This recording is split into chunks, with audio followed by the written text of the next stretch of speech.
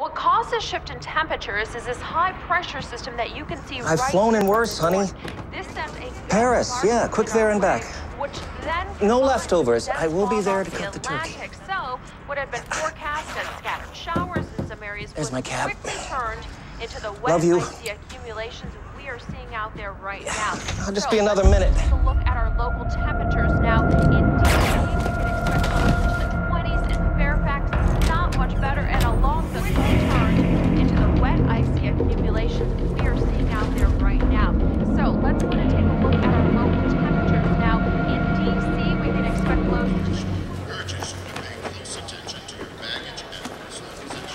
Hey, sorry to bother you. Again, you mean? Yeah, uh, but this time I need to see some ID. Well, too bad. I'm not Navy. She asked you a question. You're making a big mistake. Freeze! Hands where I can see him. Oh. Okay, well, what's his deal? I'm an air marshal. Mike Beers. Thanks for blowing my cover. When Eva found out that Cole was sleeping with your wife, she came to you with a plan. Yes. He had betrayed the both of you. You wanted revenge. The man looked me in the eye every day, and then he went to my home, to my wife. He deserved what he got. So you staged the attack on Eva in her house. Yes. So that PI would see it, and the trail would lead straight to Cole. It was all for show, of course. So how did Eva end up dead? I, I don't know. I spoke to her the next morning. Eva was stressed out, regretful. Said the plan was never her idea in the first place. Whose plan was it? I don't know. But but she was having second thoughts about seeing Cole convicted for her murder. And she was thinking about coming forward. And that would have ruined you, which is why you killed her. No, no, no, no. All I did was help Eva. I, I had nothing to do with her murder. Al Zahrani's got diplomatic immunity. That may not mean much to you people, but to us mere mortals in the State Department, that's a serious issue. I just want to ask him some questions during his lunch hour. CIA is not even supposed to be operating on American soil. It's against your own charter. This is the FBI's job. Al Zahrani's running a terrorist cell out of the Saudi embassy. Fuck the charter.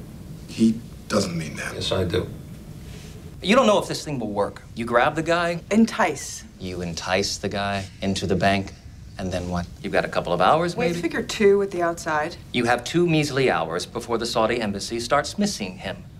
What if he doesn't turn? Being gay in Saudi Arabia is like being the Antichrist here. I am aware of our cultural differences with Saudi Arabia. I see no compelling reason not to do this. Were you not listening? I just gave you ten of them. I'm going to the secretary on this one, David.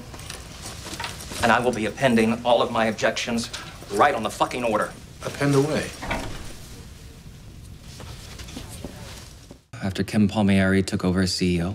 Kim Palmieri, the defendant. Yes, it started with little things. They closed the employee break room, they cut our sick days, they laid people off, so the rest of us were forced to come in on the weekends and take up the slack.